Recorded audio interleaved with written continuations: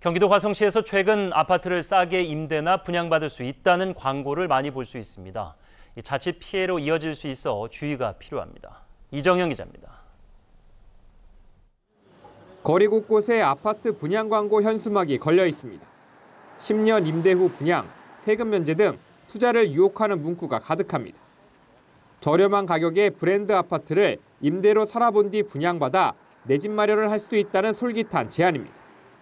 10년간 거주를 하시다가 10년 만기가 되면은 그 돈 그대로 해서 분양을 받을 건지 아니면 뭐 나가셔도 상관없고 화성시는 최근 이 같은 협동조합형 민간임대주택 사업 홍보가 늘어나자 시민들에게 투자주의보를 내렸습니다. 광고만 있을 뿐 실제로 접수된 민간임대주택 조합원 모집 신고는 단 한 건도 없기 때문입니다. 아직 조합이 설립되지 않았거나 투자를 유도하는 미끼 광고일 가능성이 큰데 돈을 돌려받지 못할 수도 있습니다.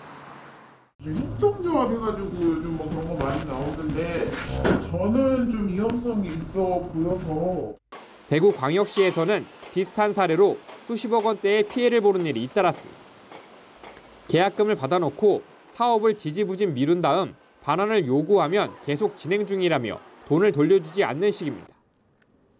화성시는 협동조합형 민간임대주택 사업과 관련해 위법 사항이 발견되면 고발 등 행정 조치할 예정입니다. OBS 뉴스 이정현입니다.